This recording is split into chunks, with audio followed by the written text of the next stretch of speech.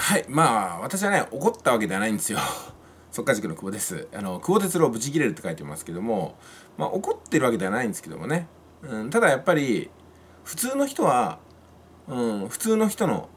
理解力っていうか頭脳しかないっていうことだということをねやっぱり私もね配慮が足りなかったのかそれともそこまで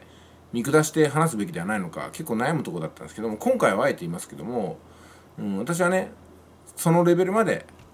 やっぱ買いかぶってましたよ。やっぱり。もうちょっと低いレベルで話した方が良かったかなと思います。人はですねうんリスクヘッジしないんですよね。だから失敗するんですよ。で失敗する人はまたリスクヘッジしないんですよ。何においても。うんで何がうまくいかないのかうまくいくのかってことの区別がつかないんですけどもやれば大体失敗するんですよ。で失敗のダメージを最小化するためにリスクヘッジをするはずなのにリスクヘッジをしてないんで失敗のダメージが最大化されてしまうんですよね。えー、まあ、先ほどね言われたように投資案件に1円とか10円とかね100円とか1000円とか突っ込みました、えー、投資だ詐欺でした。被害大きいですかね これは、うん、で信頼した案件が飛びました。それはね信頼するものを見る目がないわけなんですよ。だから自分のものを見る目がないことに対するリスクヘッジができてないんですよ。自分の判断力が本当にあるのかな大丈夫かなと思ってたらもしこれがダメだった時のためにどんなリスクヘッジをしようかなって考えるわけなんですよね。少なくともそこに何十万とか何百万入れないですね。うん。だからここなんですよ。でもう一個詐欺師の立場から考えるってこともできてないんですよ。詐欺師の立場から考えるとまずね1万円とか2万円をパクッと詐欺って逃げるっていうのはしないんですよ。1万円とか2万円に対してはそれに対するリターンを出してね3万円4万円にしてお返しするんですよ。で3万円4万円にしてお返ししたら今度は5万6万にして今度は入ってくるんですよね。で詐欺師はその5万6万入ってきたことに対して今度は10万20万お返しするんですよ。そうやって何回も何回も誠実に対応してそれこそね何ヶ月とか何百回とか何年という積み上げをした後に最大化したお客様のねお金をダッシュしてドロンと消えるんですよね。だから安全だ確実だと思った瞬間にそれは隙が生まれてる状態なんですよ。安全だ確実だっていうものはないわけなんですよね。むしろそう思った時にやばいなと思ってリスクヘッジをする。安全だ完全だと思った時に一歩引いてみるとかね。これはあの FX の世界でも同じことが言えて速稼塾の FX ってのは勝ちを3回続けたら4回目はもうね相場から離れるってことをねずっとお,、まあ、お伝えしております、うん、もちろん3回やられて4回目慎重になるっていうのはこれ誰でも起こることなんですよ。負けが続くとやっぱりいろんなね精神力とか崩れてくるわけですよね。だから普通の人は3回失敗すると4回目は慎重になるんですよ。でも同じぐらいの感覚で3回成功しても4回目の成功はまた未知数だってこと。だからリスクエッジが必要だと。しかも3回成功すると有頂天になって4回目はかなり大きなベッドを行く。それがね普通の人の精神なんですよ。私は普通の人の精神から離れてますんで待てよと思うわけですよね。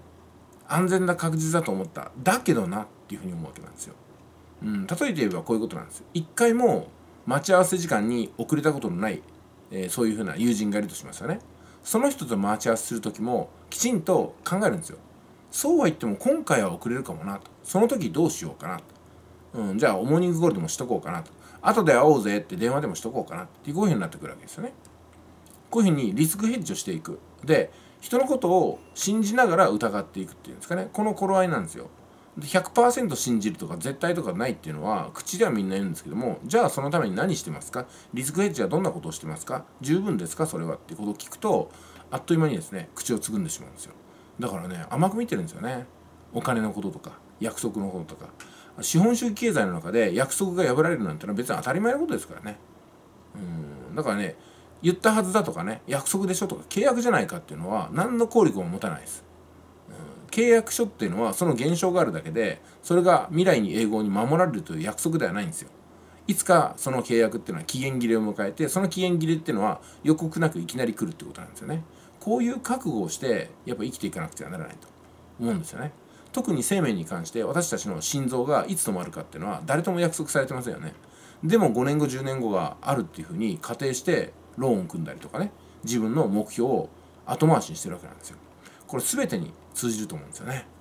まあそんな感じでねうんまあいろいろと考えるところがあったんじゃないかなと思います。本当にこれはね繰り返し繰り返し私はね毎日考えます。今日死ぬとしたらどうしようかなぐらいのレベルでやっていくから、まあ、私は他の人と歩みが違うのかなと思いますし、まあ、考え方も変わってくるんじゃないかなというふうに思うわけですよね、まあ、この辺を真似していただければあ本当にね、えー、物事っていうのは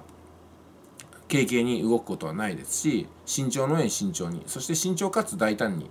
掴んでいけるのかなと思います。まあそれがねほとんどの方ができないってことを私もついつい忘れてしまうんでほとんどの方は暴走するってことを前提にやっぱりね、えー、見ていかなくてならないのかなというふうに思いました。あ暴走するから大失敗して大失敗するからまたねさまよって新しい楽に稼げるものを探しちゃうみたいなとこですよね、だからね自分の力をつける自分に投資するってほとんどの方ができないんですよ。で自分以外のものに投資するってこともできないんですよ。だから投資は一番難しいんでとりあえずビジネスをやっていこうってことに落ち着くわけですよね。自分で余剰資金を作る力がないうちは投資なんてのはうんその大きな金額いくもんじゃないですよね。それこそね来月には回復するような金額でいかないとこれはダメですよね。それはね何回も語りかけてきたんですけども私のこれでね言葉を無視して勝手なことをやるわけですよ、うん、そこに関してはね私はもうなんか寂しいなと。何も伝わってなかったな。久保さんを信じてって信じてないじゃないかって話ですよね。ね私が言ったことを信じてないわけですよ。だから勝手にしてくださいっていう話になりますよね。まあ放置はしないですけどもそうやって人間は同じ失敗を繰り返して信じるとは言っても信じないというね こんなことを繰り返すんだと思いますんでそれはあらた私も改めて理解していくことかなと思います。